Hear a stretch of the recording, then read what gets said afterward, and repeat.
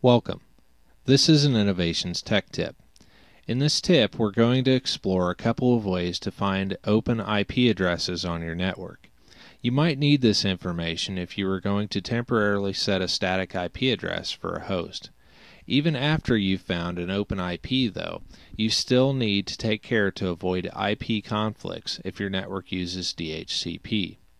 Please also be aware that one of these techniques uses the Nmap network scanning program, which may be against policy in some environments. Even if it's not against corporate policy, the Nmap man page states that there are administrators who become upset and may complain when their system is scanned. Thus, it is often advisable to request permission before doing even a light scan of a network. The first technique that we're going to cover is the use of the arping command to tell if a single address is in use. arping uses ARP or Address Resolution Protocol instead of ICMP packets.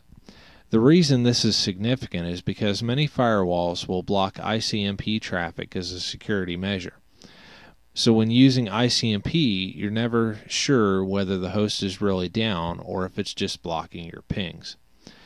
ARP pings will almost always work because ARP packets are used to provide the critical network function of resolving IP addresses to MAC or Media Access Control addresses. Hosts on an Ethernet network will use these resolved MAC addresses to communicate instead of IPs. Be aware that one case in which ARP pings will not work is when you're not on the same subnet as the host you're trying to ping. This is because ARP packets are not routed. See resource number 3 in the blog post associated with this video for more details.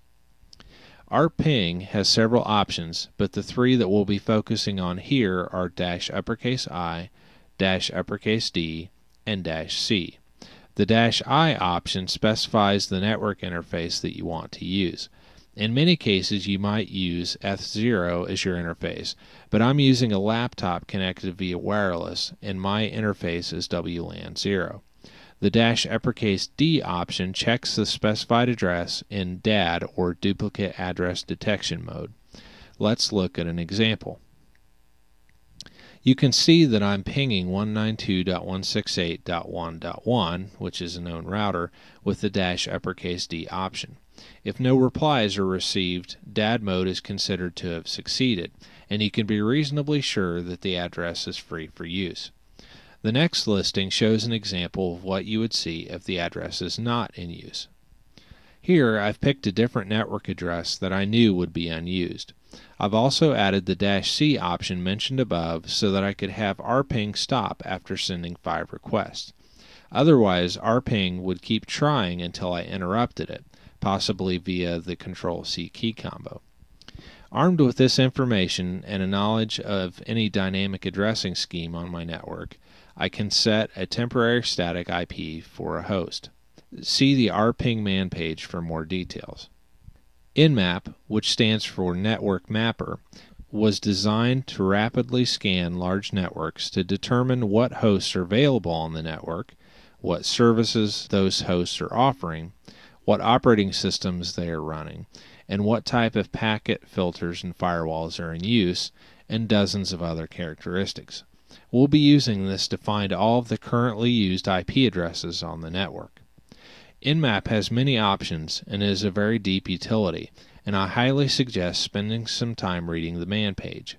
Of all these options, the only one that we'll be dealing with in this quick tech tip is Dash E. The Dash E option allows you to specify the interface to use when scanning the network. This is similar to the Dash uppercase I option of arping. The next example shows a simple usage. The first thing to notice is the notation that I use to specify the network submask, which is the slash 24 at the end of the IP address specification. If you're unfamiliar with this notation, please see resource number 5 in the associated blog post. The next thing to notice is that Nmap gives us a lot more information than just what IPs are in use. Nmap also shows us things like what ports are open on each host and what service it thinks is running on each port. As a network administrator, you can use this information to get a quick overview of your network, or you can dig deeper into Nmap to perform in depth network audits. In our case, we're just looking for an open IP address to use temporarily, so we can choose one that's not listed. Again, care needs to be taken when statically setting IPs on a network with DHCP. Have a look at resource number 4 in the associated blog post for a more comprehensive guide to using Nmap. That concludes this tech tip. Have a look at innovationsts.com for other tips, tricks, how to's, and service offerings available from Innovations Technology Solutions. Thanks, and stay tuned for more from Innovations.